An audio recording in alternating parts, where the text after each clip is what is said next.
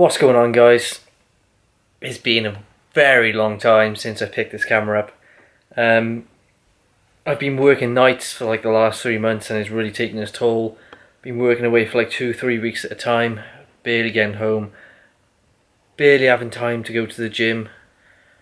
But at the end of the day I shouldn't be making excuses.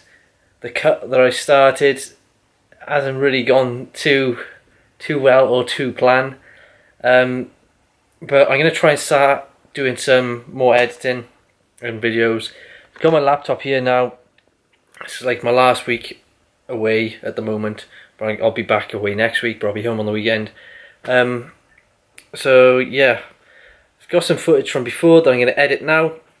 So hope you enjoy this little challenge. And I'm going to try and start uploading. And I'll see you in the next one.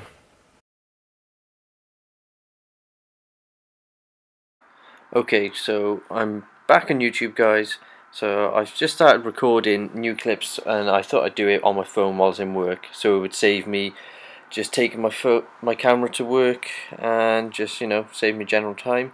So using my phone, using the front camera like the FaceTime camera and I filmed a bunch of clips and I've gone to edit them now and as you can see decent quality but unfortunately there was no sound. Um, there's an issue with my sound on my phone with the face camera. It works fine with the back camera.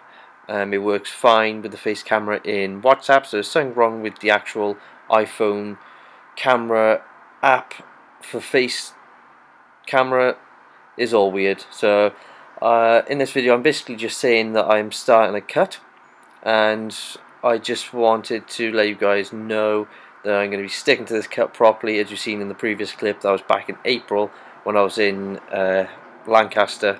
Now I'm in Aylesbury at the moment. Still working nights still tired all the time. I'm currently in bed while recording this voice clip. Um, so hopefully you guys will come back and carry on watching me. I'm going to try and do uploads as much as I can. I'm going to sort out this camera on my phone so the audio works because that's the most annoying thing in the world not having any audio um, so I might just start using my camera a bit more often when I go home and charge it up because I haven't used that for a while. And when I do go home, I might make some more like gym footage edits.